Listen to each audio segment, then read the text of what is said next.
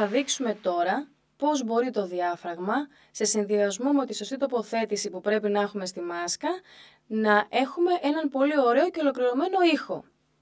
Ακούμε.